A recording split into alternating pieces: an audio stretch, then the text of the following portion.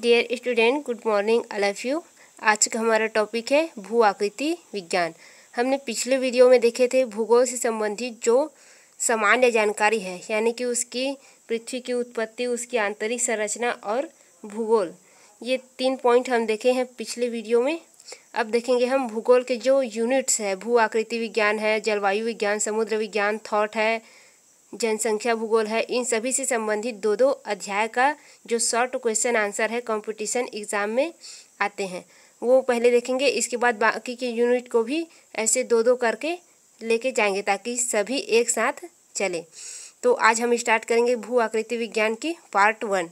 इसमें भू आकृति विज्ञान की प्रकृति, इसके अंतर्गत हम जितने भी क्वेश्चन आते हैं, उनका अध्ययन करेंगे। उसके अंतर्गत आपके अर्थ से, परिभाषा से, विषय क्षेत्र, संकल्पना, उपागम इन सभी से क्वेश्चन बनते हैं जो कि कंपटीशन एग्ज़ाम हो या मेन एग्ज़ाम हो, उसमें आपके क्वेश्चन पूछे जाते हैं। तो इसमें जो भी क्वेश्चन बनते हैं, उनका आज हम अध्ययन करेंगे। तो चलिए स्टार्ट करते हैं। तो इसमें आपका फ़र्स्ट क्वेश्चन बनता है, भू आकृति विज्ञान की शाब्दिक अर्थ क्या है? तो चलिए देखते हैं इसका शाब्दिक अर्थ क्या है। तो फ़र्स्ट क्वेश्चन है, भू आकृति विज्ञान का शाब्दिक अर्थ क्या है? तो आपको भू आकृति विज्ञान को अंग्रेज़ी में जियोमॉर्फोलॉजी कहते हैं, जो यूनानी भाषा के, यानी कि यूनानी भाषा ग्रीक के तीन शब्दों से मिलकर बना है। कौन कौन से? जी, यानी कि पृथ्वी, जिसे क्या करते हैं हम? अर्थ। और मॉर्फी का मतलब होता है फॉर्मस, यानी कि रूप। और लोजस का मतलब होता है वर्णन। यानी कि इसका शाब्दिक अर्थ क्या हुआ? पृथ्वी के जो आकृति है, उसका क्या करना? यानी कि उसके रूप का वर्णन करना, यानी कि भू आकृतिक विज्ञान का शाब्दिक अर्थ है स्थल रूपों का वर्णन, यानी कि पृथ्वी के जो स्थल है, यानी कि पृथ्वी में जितने भी धरातल है, उसके जो रूप है, उसका वर्णन करना, यानी कि स्थल रूपों का अध्ययन या वर्णन। यह आपका क्या है? भू आकृति विज्ञान का शाब्दिक अर्थ है। स्थल रूपों का अध्ययन या उसका वर्णन। फिर आपका सेकेंड क्वेश्चन है भू आकृति विज्ञान किसे कहते हैं या इससे क्या तात्पर्य है? तो आपको जो क्वेश्चन में आएगा भू आकृति विज्ञान के शाब्दिक अर्थ तो आपको इसमें टिक लगाना है। स्थल रूपों का अध्ययन या स्थल रूपों का वर्णन। फिर आपका सेकेंड क्वेश्चन है भू आकृति विज्ञान किसे कहते हैं? भू आकृति विज्ञान से तात्पर्य है भू आकृति विज्ञान वह विज्ञान है जो स्थल मंडल के विभिन्न उच्चावचों का अध्ययन किया करता है। उच्चावच का मतलब क्या होता है? स्थल रूप। या उच्चावच या स्थलाकृति, ये सभी क्या है? एक ही है। इसमें उच्चावच कर दिया गया है। किसको? स्थल रूपों को। तो इसमें स्थल रूपों का क्या किया जाता है? अध्ययन किया जाता है। और किसके अंतर्गत? स्थल मंडल के जो स्थल रूप है, उसका अध्ययन। तो ये उच्चावच जो है, आपके तीन प्रकार के होते हैं। यानी कि स्थल रूप जो है, प्रथम श्रेणी के, द्वितीय श्रेणी के, तृतीय श्रेणी के। तो उनका, उन सभी का अध्ययन किसमें किया जाता है? भू आकृति विज्ञान में। वह हो गया आपका, ये क्वेश्चन हो गया। सेकेंड फिर आपका अगला क्वेश्चन है, भू आकृति विज्ञान का विषय क्षेत्र कौन कौन से है? भू आकृति विज्ञान के विषय क्षेत्र कौन कौन से है? तो आपका भू आकृति विज्ञान का विषय क्षेत्र निम्न है, पहला है आपका उच्चावचो मतलब स्थल रूपों का अध्ययन। फिर आपका सेकेंड है स्थल रूपों को निर्मित करने वाले।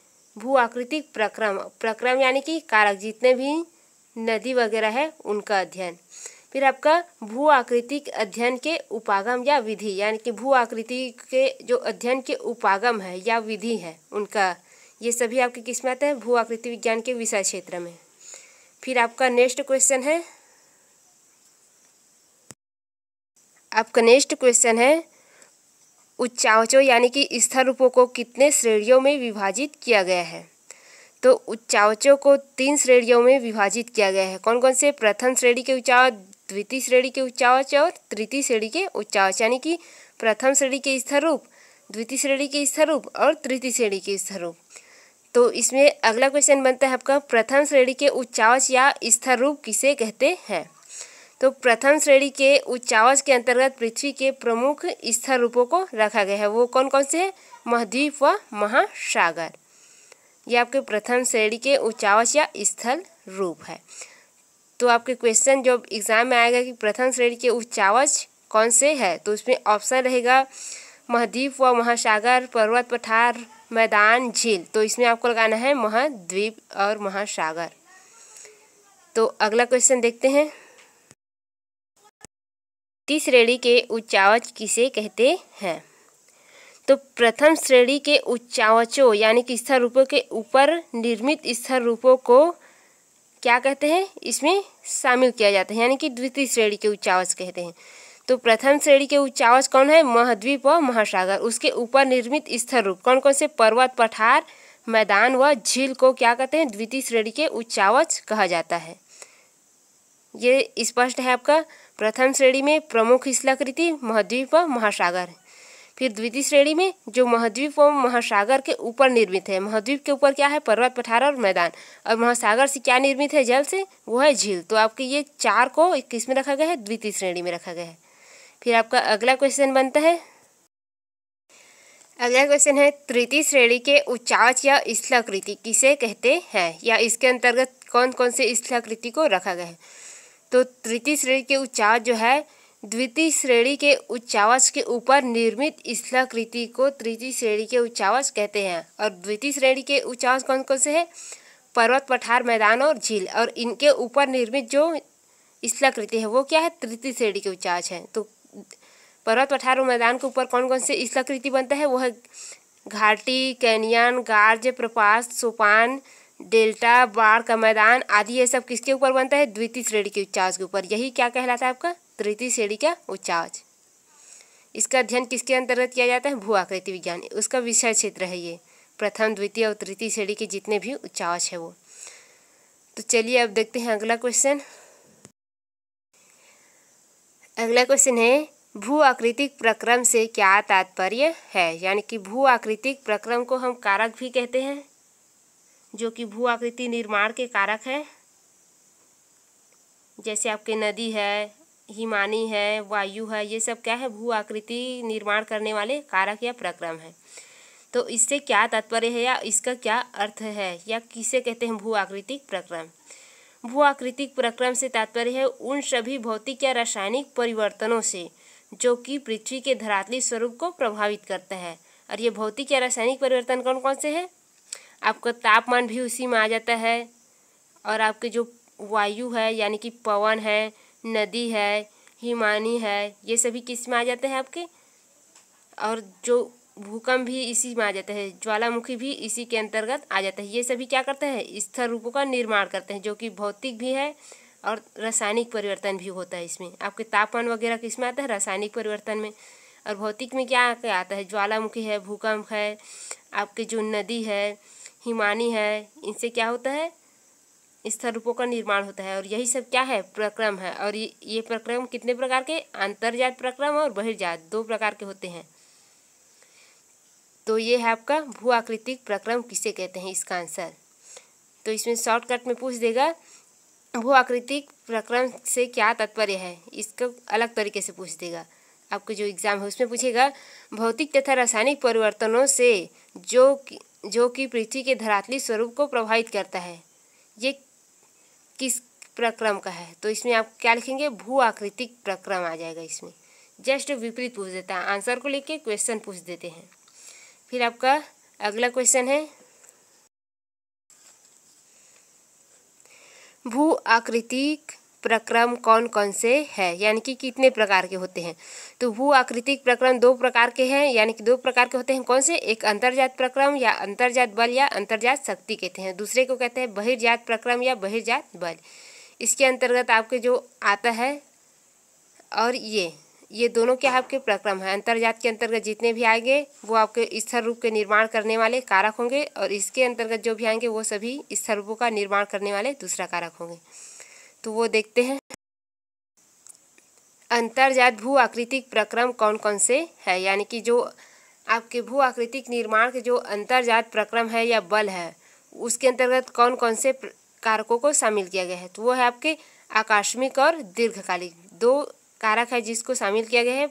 आकस्मिक के अंतर्गत है भूकंप, ज्वालामुखी भू स्खलन ये तीन है आपके। और दीर्घकालीन जिसमें है, महाद्वीप व पर्वत निर्माणकारी।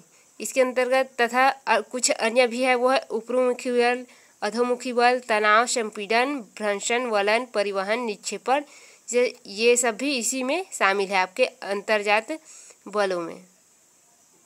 जो कि दीर्घकालीन संचलन का एक क्या है ये?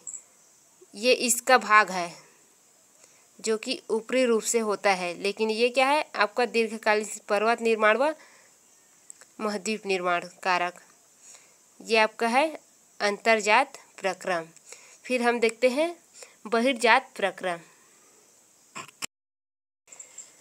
बहिर्जात भू आकृतिक प्रक्रम कौन कौन से हैं?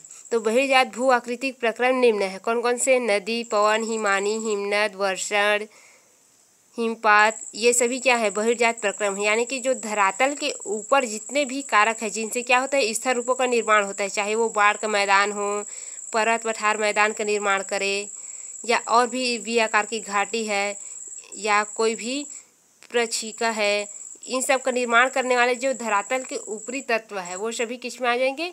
बहिर्जात भू आकृतिक प्रक्रम है। और धरातल के सतह के जो नीचे है, सतह और सतह के नीचे तो वो कौन सा है? अंतर जाता है वलन, भ्रंशन, वो सभी किसमें जाता है आपके? अंतर्जात में आता है। फिर आपके नेक्स्ट क्वेश्चन है उच्चावचो, यानी कि स्तर रूपों के अध्ययन के कौन कौन से उपागम या विधियाँ हैं? तो आपके स्तर रूपों के अध्ययन के कौन कौन से उपागम या विधियाँ हैं? वो है निम्न। तो पहला है प्रमुख कार्य। इसके अंतर्गत क्या प्रमुख कार्य या ये क्या है? उसका विधि है। प्रथम, इसमें क्या करते हैं? स्तर रूपों का वर्णन करते हैं, फिर वर्गीकरण और व्याख्या करते हैं। फिर आपका सेकेंड उसकी उपागम या विधि है, भू आकृतिक विश्लेषण के उपागम। फिर तीसरा है उसका शोध विधि, जो आंकड़ा है उसका क्या किया जाता है? इसमें शोध किया जाता है। प्रेक्षण, पर्यवेक्षण इनके द्वारा। फिर आपका विश्लेषण विधि, यानी कि इसका क्या किया जाता है? जो समस्याएँ हैं उसको सुलझाया जाता है विश्लेषण विधि में, आंकड़ों की समस्या को। ये आपके चार प्रमुख इसके उपागम या विधियाँ हैं, जो स्तर रूपों के अध्ययन के। फिर आपका अगला क्वेश्चन बनता है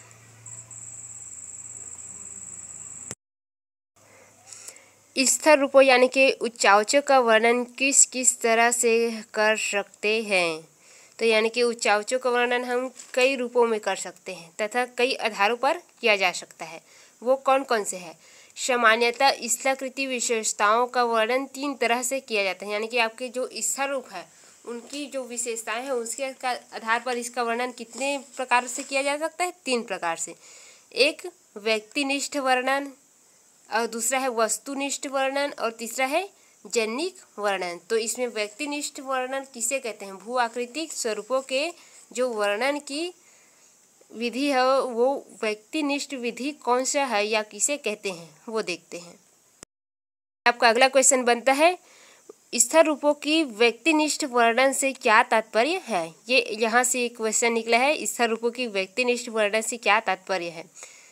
तो इसके अंतर्गत आता है आपके इसके अंतर्गत कोई व्यक्ति विशेष किसी क्षेत्र के भौतिक स्वरूपों को आँखों देखा हाल इस तरह प्रदर्शित किया जाता है, यानी कि प्रस्तुत करता है कि भू आकृति विज्ञान न जानने वाला साधारण व्यक्ति भी, जिनको इसके बारे में कुछ पता ही नहीं है। ऐसा साधारण व्यक्ति उस क्षेत्र की भौतिक दृश्य की झलक पा लेता है, यानी कि क्या पा लेता है?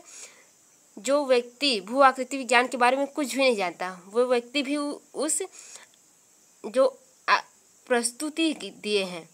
स्तर रूप की प्रस्तुति दिए है, उसको देख कर ही क्या कर लेता है, उसका झलक, उसका वास्तविक रूप देख लेता है उसमें।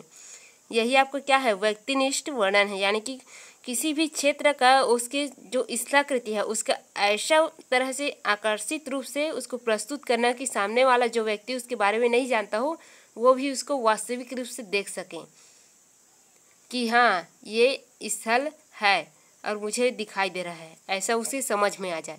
ये क्या होता है आपका? व्यक्तिनिष्ठ वर्णन, यानी कि आँखों देखा हाल प्रस्तुत करना जो कि दूसरा व्यक्ति भी उसे, उसके माध्यम से देख सके और वास्तविक उसको दिखाई दे, यानी कि उसकी झलक उसको वास्तविक दिखाई दे। यह होता है आपका व्यक्तिनिष्ठ वर्णन, जिसमें क्या कहते हैं? स्थलाकृतियों का व्यक्तिनिष्ठ वर्णन करते हैं। फिर आपका अगला क्वेश्चन नेक्स्ट क्वेश्चन है स्थिर रूपों यानी कि उच्चावचों का वस्तुनिष्ठ यानी कि वर्णन से क्या तात्पर्य है? यानी कि इसमें वस्तुनिष्ठ को वैकल्पिक वर्णन नहीं, वैज्ञानिक वर्णन या मात्रात्मक वर्णन भी कहते हैं। ये आप ध्यान देंगे वस्तुनिष्ठ को वैज्ञानिक वर्णन भी कहते हैं और मात्रात्मक वर्णन भी कहते हैं। तो स्थल रूप यानी कि उच्चावचों का वस्तुनिष्ठ वर्णन से क्या तात्पर्य है या क्या अर्थ है? तो इसका आंसर है इस विधि के अंतर्गत गणितीय एवं सांख्यिकी विधि को सम्मिलित किया जाता है। इसमें वस्तुनिष्ठ का दूसरा अर्थ क्या है? मात्रात्मक वर्णन। तो इसमें क्या करते हैं? गणितीय एवं सांख्यिकी विधि को सम्मिलित किया जाता है। पहले क्षेत्र में स्वरूपों को क्या किया जाता है? सर्वेक्षण और मापन किया जाता है और उसी वास्तविक आंकड़े प्राप्त किए जाने के बाद क्या करते हैं? उसका विश्लेषण के बाद उसका वर्णन किया जाता है। आंकड़ों को प्राप्त करना, फिर विश्लेषण, यानी कि उसकी समस्या को समाधान करना फिर उसका वर्णन किया जाना। यही क्या है आपका? वस्तुनिष्ठ वर्णन कहते हैं इसी को। और दूसरे शब्दों में वैज्ञानिक वर्णन या मात्रात्मक वर्णन, ये तीनों आपके एक ही है।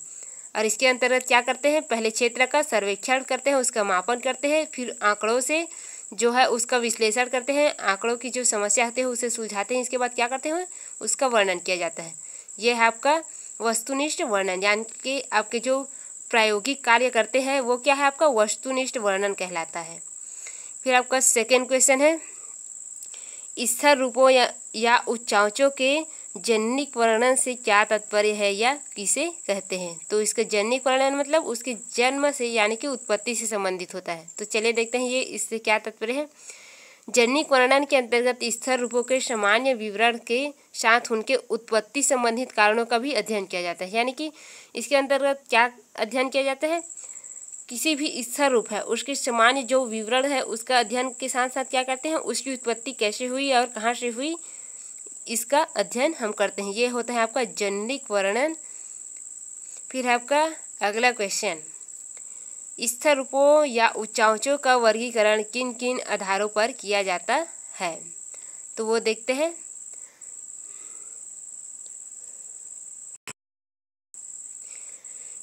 स्थिर रूपों यानी कि उच्चावचों का वर्गीकरण किन किन आधारों पर किया जाता है? तो इसका आंसर है स्थिर रूपों या उच्चावचों का वर्णन निम्न आधारों पर किया जाता है।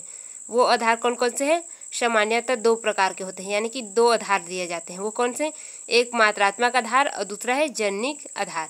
तो मात्रात्मक आधार भी हम बताए हैं मात्रात्मक विधि इसमें क्या करते हैं? आंकड़ों को एकत्रित करते हैं, फिर इसका विश्लेषण करते हैं, फिर उसका वर्णन या व्याख्या करते हैं। ये है और इसमें क्या है जनिक आधार में उसकी उत्पत्ति से संबंधित जो है, उसको जोड़ा जाता है। तो चलिए देखते हैं आगे क्वेश्चन तो आपका अगला क्वेश्चन बनता है मात्रात्मक आधार से। तो मात्रात्मक को अजनिक भी कहते हैं, क्योंकि ये मात्रात्मक है और ये जनिक है तो ये अजनिक ही होगा। तो मात्रात्मक या अजनिक आधार पर स्थिर रूपों, यानी कि उच्चावचों का वर्गीकरण किस प्रकार किए जाते हैं?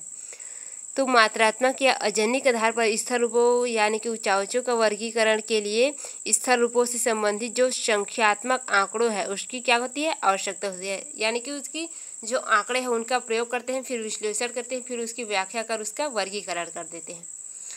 फिर आपका अगला क्वेश्चन बनता है जनिक आधार पर स्थल रूपों का वर्गीकरण कैसे करते हैं या किस प्रकार करते हैं? तो इसका आंसर है जब स्थिर रूपों यानी कि चावचों के वर्गीकरण का आधार स्थिर रूप की उत्पत्ति प्रक्रिया से संबंधित होता है तो उसे जनिक वर्गीकरण कहते हैं। यह आपको होता है जनिक वर्गीकरण, यानी कि उसकी जन्म से संबंधित, उत्पत्ति से संबंधित तथ्यों को इसमें जोड़ना होगा आपका जनिक वर्गीकरण। उसे जोड़कर उसका वर्गीकरण करना फिर आपका नेक्स्ट क्वेश्चन है स्थिर रूपों यानी कि उच्चावचों की व्याख्या किन किन आधारों पर किया जा सकता है? तो स्थल रूपों की व्याख्या निम्न आधारों पर किया जा सकता है। वो कौन कौन से हैं? एक संरचना या उसके स्वरूप के आधार पर कि उसकी जो स्थल रूप है, उसकी संरचना कैसी है या बनावट कैसी है या उसका स्वरूप कैसा है? फिर आपका सेकेंड जलवायु के आधार पर। और थर्ड है ऐतिहासिक या कालानुक्रम यानी कि वो कितने समय में बना या निर्मित हुआ, कब प्रारंभ हुआ था, कब उसका अंत हुआ, ये सभी काल अनुक्रम के अनुसार, यानी कि उसके विकास के अनुसार क्या करते हैं? उसकी व्याख्या करते हैं। फिर है आपका प्रक्रम कारक, यानी कि जो प्रक्रम है उसके आधार पर भी उसका व्याख्या किया जाता है। फिर आपको नेक्स्ट क्वेश्चन है, भू आकृतिक विश्लेषण के उपागम को कितने वर्गों में विभाजित किया गया है? भू आकृतिक विश्लेषण के उपागम को निम्न वर्गों में विभाजित किया गया है। वो कौन कौन से है? पहला है, ऐतिहासिक या कालानुक्रम उपागम, यानी कि जो भू आकृतिक है, उसके विकास से संबंधित, जन्म से लेकर उसके वर्तमान तक के जो घटनाएँ हुई है, वो आपका कालन, कालानुक्रम उपागम है, उसको देखते हैं उसमें। फिर आपका परिणात्मक या अनुभविक उपागम, इसमें क्या होता है? कोई भी स्थलाकृति का निर्माण हुआ रहता है और क्या हो, ज़्यादा अपर्दन के कारण क्या होता है, उसका जो पुनः निर्माण का प्रमाण नहीं मिलता। तो उसमें क्या करते हैं, अनुभव के आधार पर उसका क्या करते हैं, अध्ययन करते हैं। उसका विश्लेषण, उसके समस्याओं का समाधान करने का प्रयास करते हैं। यही क्या होता है आपका, परिमाणात्मक या अनुभविक उपागम। फिर आपका प्रादेशिक उपागम। अगला। तो इसके अंतर्गत क्या करते हैं किसी भी आंकड़ा है, किसी भी क्षेत्र का प्रमुख आंकड़ा है, उसे क्या करते हैं? प्रादेशिक आधार पर उसका अध्ययन करते हैं। फिर आपका क्रमबद्ध या कार्य कार्यात्मक उपागम। इसके अंतर्गत कोई भी आंकड़ा है, उसका, उस क्षेत्र के आधार पर अलग अलग विभागों में विभाजित करके अध्ययन करते हैं। फिर आपका नेक्स्ट क्वेश्चन। भू आकृतिक विश्लेषण के ऐतिहासिक या कालानुक्रम उपागम से क्या तात्पर्य है? भू आकृतिक विश्लेषण के ऐतिहासिक या कालानुक्रम उपागम इस संकल्पना पर आधारित है कि समय के साथ स्थिर रूपों में क्रमानुगत क्या होता है? परिवर्तन होते रहता है। इसके अलावा अथवा इस उपागम का अन्य आधार कौन सा है? एक रूपता का नियम तथा वर्तमान भूत की कुंजी है। यानी कि इसमें क्या है? आपकी जो स्थिर रूप का विश्लेषण के ऐतिहासिक या कालानुक्रम उपागम है, इसके अंतर्गत क्या किया जाता है? जो स्थिर रूप है, वो क्या है? क्रमानुगत परिवर्तन होते रहते हैं। यानी कि पहले क्या रहता है वो? समतल रहता है, फिर उसमें पठार का निर्माण होता है, फिर वही क्या होता है, उसमें फिर जमा होता है तो वही पर्वत का रूप धारण कर लेता है, या कुछ और कारण होता है तो धरती ऊपर चला जाता है, वो क्या? पर्वत बन जाता है। फिर उसमें क्या होता है? अपर्दन वगैरह होता है तो वो फिर नीचे होते जाता है, नीचे होते जाता है, फिर क्या हो जाता है? मैदान बन जाता है। यही उसका क्या है? एक काल अनुक्रम उसकी संरचना है। यही है उसका आधार। तो इसमें क्या कहा गया है? एक रूपता। तो इसमें क्या है? उसके रूप एक ही पुनः परिवर्तित हो जाएगा। लेकिन क्या है? उसका समय चेंज बस होता है। बाकी सब कुछ एक ही है। इसलिए उसमें क्या है वर्तमान भूत की कुंजी है। जो भविष्य भूतकाल में हुआ था, वही वर्तमान में भी हो रहा है। किंतु उसकी समय बस में परिवर्तन है। ये इसके कहले का मतलब है। फिर आपका सेकेंड है। ये हम पार्ट टू में देखेंगे। आपकी जो भू आकृतिक संकल्पनाएँ हैं, उसमें आपके एक रूपता के सिद्धांत है, भू भू, वर्तमान भूत की कुंजी है, ये सभी क्या है? आपको सेकेंड पार्ट में देखेंगे। जस्ट इसके बाद वाले में। तो फिर है आपका अगला क्वेश्चन भू आकृतिक विश्लेषण के परिणामात्मक या अनुभविक उपागम क्या है या इससे क्या तात्पर्य है? ये हम उत्तर इन शॉर्ट में बताए हैं आपको। क्वेश्चन को हल करते करते अब देखते हैं इसका वास्तविक।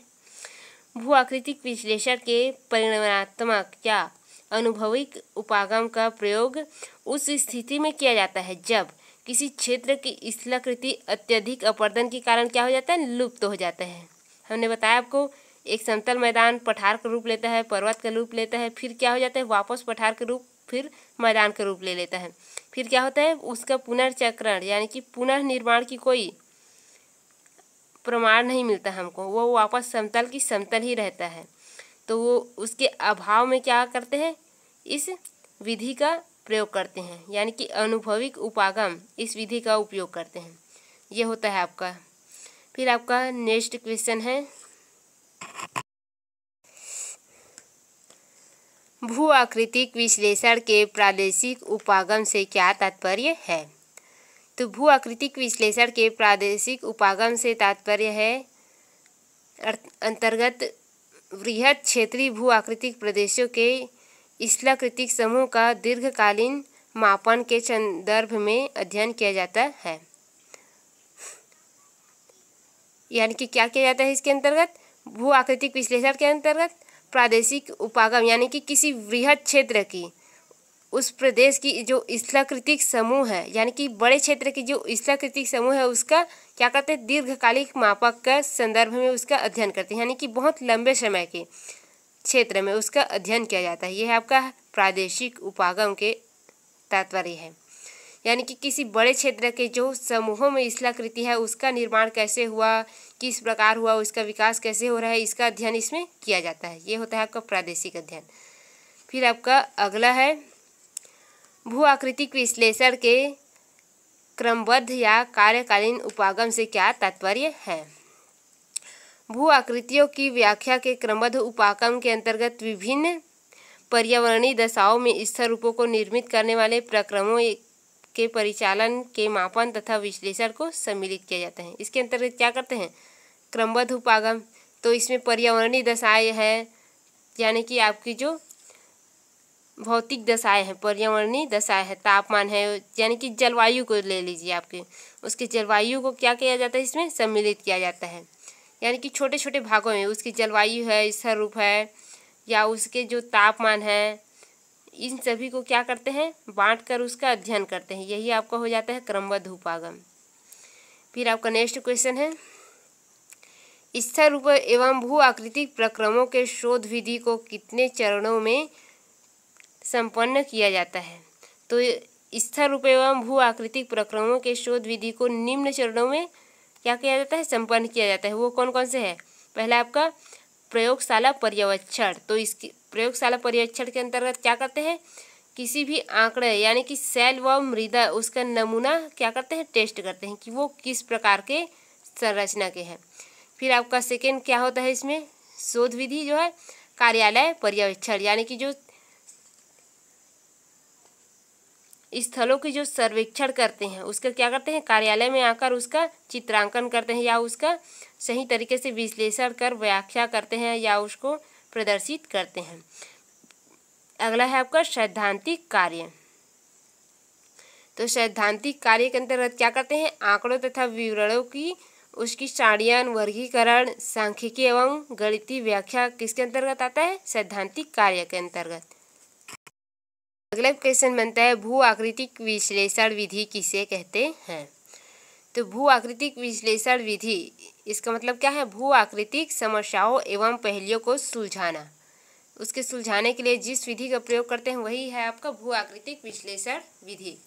यानी कि जो भू आकृति है, यानी कि स्थिर रूप है, उसमें जो समस्याएँ हैं या कुछ पहलियाँ, यानी कि उसमें कुछ समस्या आ रही है जो हमें समझ में नहीं आ रहा है। यानी कि हमारे लिए एक पहली बन गया है वो। उसे सुलझाने के लिए एक विधि जिस विधि का प्रयोग करते हैं, वही क्या कहलाता है हमारा? विश्लेषण विधि कहलाता है। फिर आपका अगला क्वेश्चन है भू आकृतिक विश्लेषण विधि कौन कौन से है? तो भू आकृतिक विश्लेषण विधि निम्न है। कौन सा? निगमन विधि, आगमन विधि और विश्लेषण विधि। विश्लेषण विधि तो आप देख ही चुके हैं। यह आपका निगमन विधि और आगमन विधि। निगमन विधि में क्या होता है? जो आंकड़े होते हैं, उनके, आपके जो वैज्ञानिक विधि है, वो इसमें आ जाता है। और जो निगमन और आगमन विधि, ये सभी हम आपको अगले पार्ट में बताएँगे। आज का वीडियो यहीं स्टॉप करते हैं। अगले पार्ट में हम देखेंगे भू आकृतिक संकल्पनाएँ या अवधारणाएँ। इनसे संबंधित जितने भी शॉर्ट क्वेश्चन आंसर है जिसमें है आपके वर्तमान भूत की कुंजी है, यह किसने कहा?